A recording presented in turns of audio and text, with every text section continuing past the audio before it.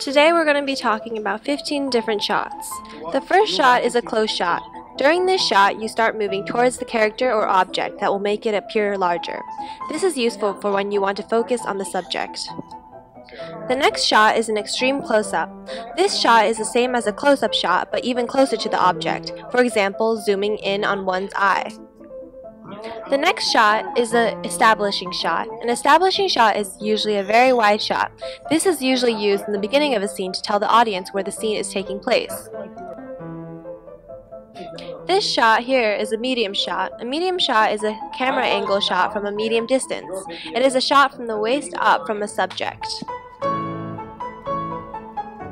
A low angle shot in cinematography is a shot from a camera angle positioned lower on the vertical axis, making the subject appear larger, having more authority. Moving on, we have a high angle shot. A high angle shot is a cinematic technique where the camera looks down on the subject from a high angle, making the subject appear smaller, having less authority.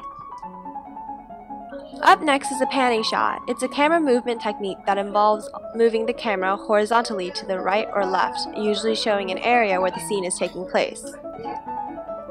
Here we have a slow motion shot where the frames slow down and this is usually used to create a dramatic effect.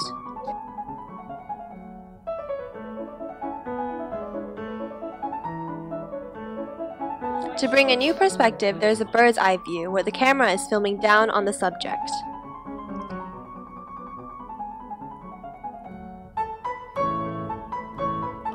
This is a jump cut. It is a cut in which two sequential shots of the same subject are taken from the camera positions that vary only slightly. This type of edit gives the effect of jumping forwards in time.